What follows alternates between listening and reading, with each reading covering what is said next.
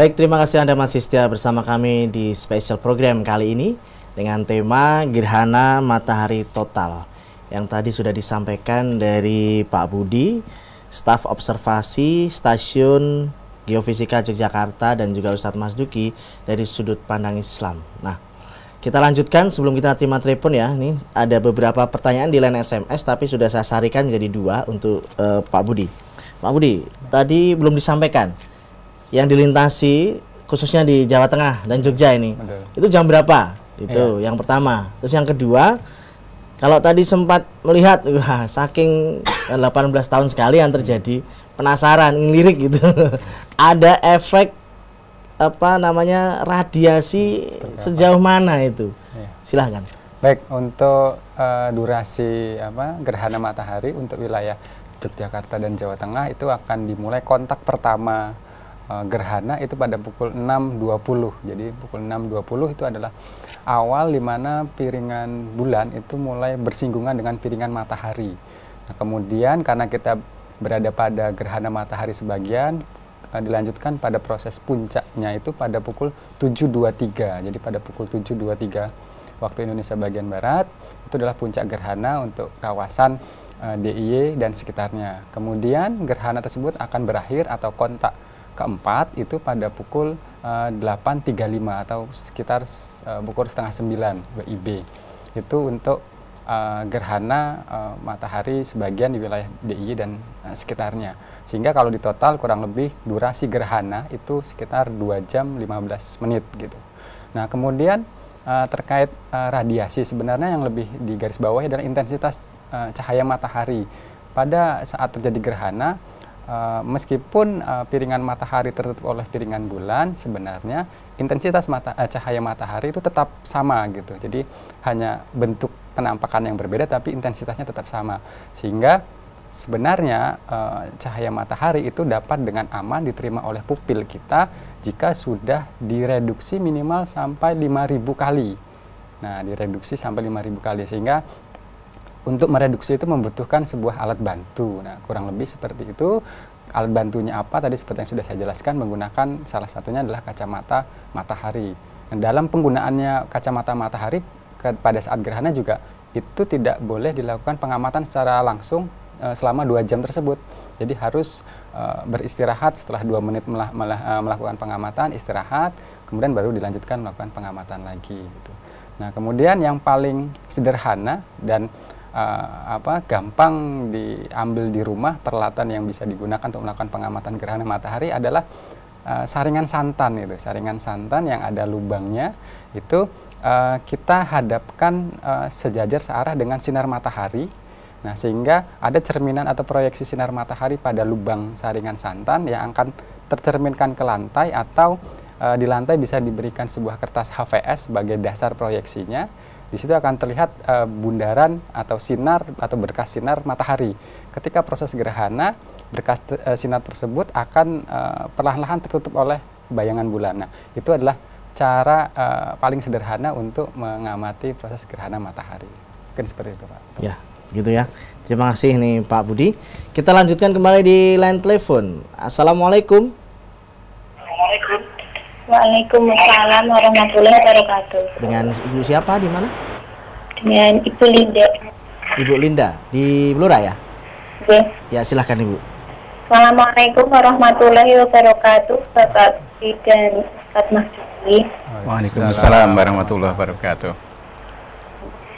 Uh, yang saya tanyakan yang pertama kepada Bapak Budi, uh, untuk mendapatkan atau bisa melihat gerhana matahari agar terlihat dengan jelas uh, posisi yang seperti apa ketika kita melihat.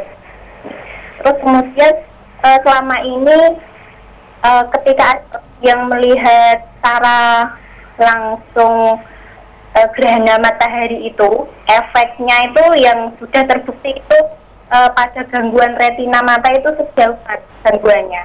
Okay. Kemudian yang kedua pertanyaan kepada Ustaz Mas Duki. Uh, gini Ustaz, hubungan dengan uh, saya pernah mendengar hadis bahwa ketika gerhana itu kita seperti yang Ustaz jelaskan tadi kita harus mengingat kepada Allah gitu. Kemudian dengan gerhana itu akhirnya kita kan bareng-bareng gelombongan keluar gitu. Terus, eh, dengan eh, seperti itu apa kita termasuk eh, seperti suatu yang merayakan seperti karena ini suatu hal kejadian yang jarang seperti itu pas akan rombong-rombong begitu pengen lihat bareng di tempat-tempat mana gitu itu termasuk melanggar hadis ini apa enggak? Padahal kan di hadis itu dijelaskan kita banyak mengingat dengan sholat, zikir, istighfar dan seperti yang saya jelaskan tadi gitu. Ya. Kemudian yang kedua, eh, saya pernah mendengar juga bahwa ketika melakukan sholat gerhana ini itu tidak ada azan jadi komahnya dan kemudian apabila nanti ketika kita eh, mengikut suatu jamaah tiba-tiba ada azan jadi komahnya itu bagaimana? Ya, terima kasih. Assalamualaikum warahmatullahi wabarakatuh. Waalaikumsalam warahmatullahi wabarakatuh. Kita ke Pak Budi dulu ya. Baik. Silakan. Baik, jadi untuk lokasi pengamatan yang baik eh, tentu saja adalah pengamatan di suatu kawasan yang bebas penghalang terhadap eh, pengamatan langsung terhadap matahari. Bisa seperti lapangan atau eh, kawasan pesisir pantai.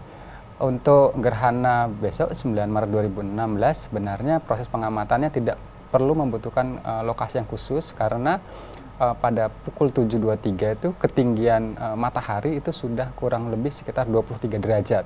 Artinya eh, kita berdiri di sebuah lapangan itu saja sudah bisa mengamati secara jelas proses terjadinya gerhana. Itu untuk eh, apa namanya untuk lokasi pengamatan. Kemudian yang kedua terkait efek ya. Jadi kalau untuk efek eh, terhadap retina yang paling fatal adalah kebutaan gitu. Karena kondisi pengamatan pada saat eh, gerhana matahari itu tidak mengurangi intensitas cahaya matahari yang masuk ke pupil gitu. Sehingga memang sangat eh, tidak disarankan melihat secara langsung proses proses terjadinya gerhana karena proses terjadi gerhana itu membutuhkan waktu yang lama kurang lebih sampai dua jam gitu kurang lebih sampai dua jam nah, sehingga lebih aman proses tersebut bisa diamati dengan menggunakan alat bantu yang sudah disebutkan eh, tadi di atas gitu. Ya. Silakan Ustadz Mas Duki. Ya. Tadi keluar untuk apa namanya semacam merayakan itu ya. Sebenarnya yang dilakukan oleh Rasulullah dan para sahabatnya itu adalah dengan terjadinya gerhana itu yaitu mereka bertawaduk ya. dengan rasa takut kepada Allah Ma- ini apa maka kemudian keluar keluar ke masjid untuk melaksanakan sholat kusuf itu ya. jadi karena gerhana matahari maupun gerhana bulan itu adalah dua ayat atau dua tanda di antara ayat atau Allah tanda-tanda kekuasaan Allah ya. maka Rasulullah menganjurkan faedah ro'aitumuha kalau kamu sekalian melihat kejadian dua itu gerhana matahari maupun gerhana bulan fakabiru maka agungkanlah Allah ya. zikir ingat pada Allah dengan tawaduk mohon ampun istighfar pada Allah ya. Wat Allah berdoalah kepada Allah wasallu dan sholatlah kamu sekalian melaksanakan sholat khusuf watasaddaku dan bersedekahlah kamu sekalian. Jadi menyambut karena itu dengan dengan tawaduk ya.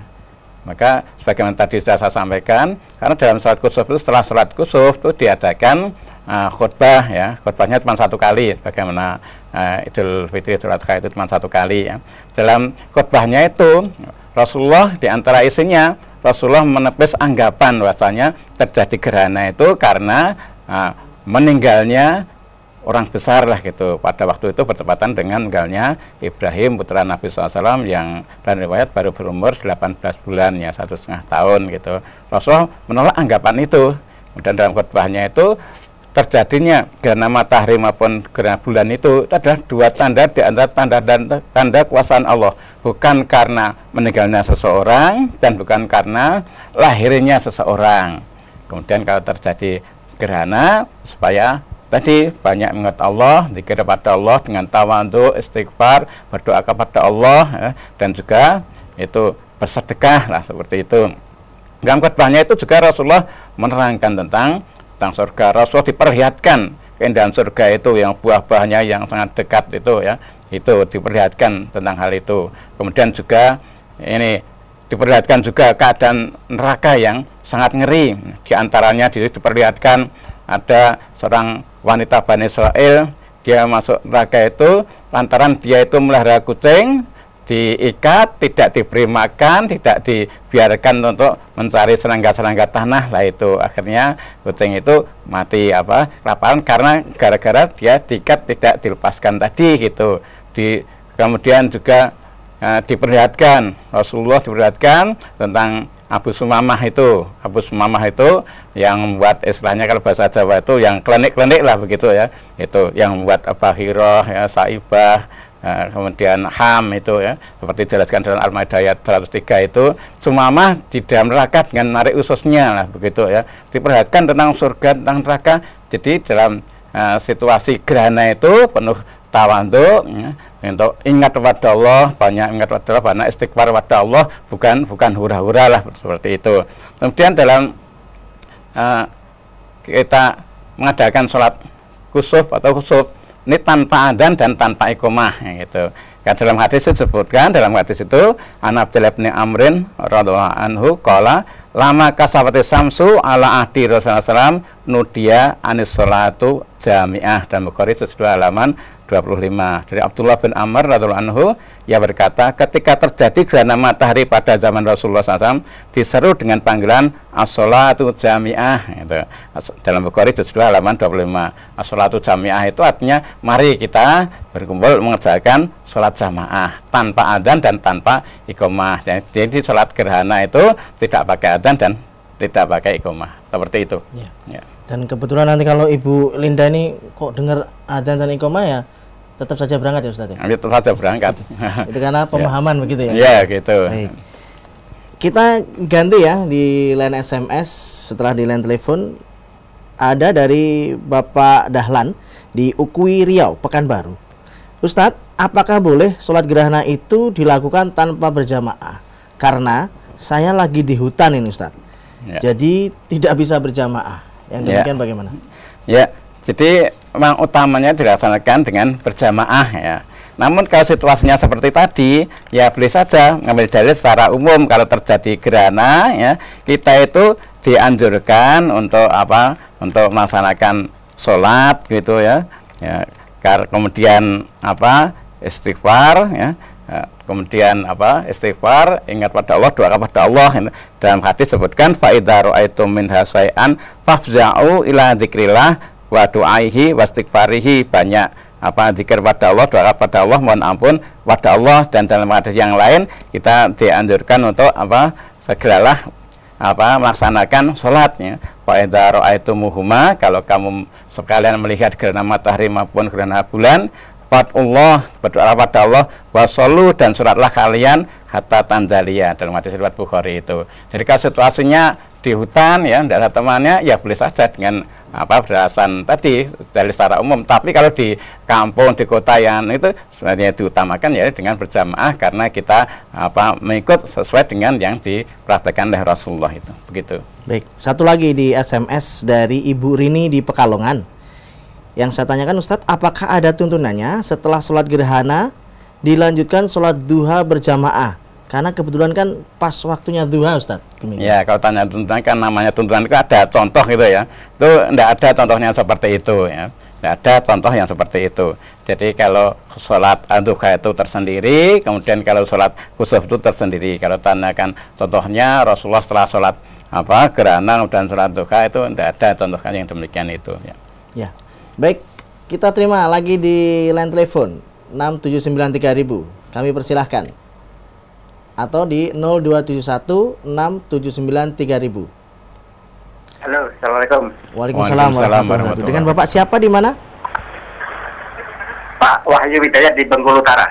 Pak Wahyu silahkan. Nah, mengenai pelaksanaan sholat itu apa dilaksanakan berarti apa setelah selesai gerhana. Mohon diulangi Bapak tadi putus-putus koneksinya. Ya. Uh, soalnya di sini di KUA itu disebutkan katanya sholat kita Jadi maksud saya uh, pelaksanaan itu dilaksanakan waktu gerhana itu terjadi atau setelah Oh begitu ya. Gerhana. Ya. Baik demikian ya. Ya. ya. Terima kasih lah ya. Assalamualaikum. Waalaikumsalam, Waalaikumsalam warahmatullahi wabarakatuh.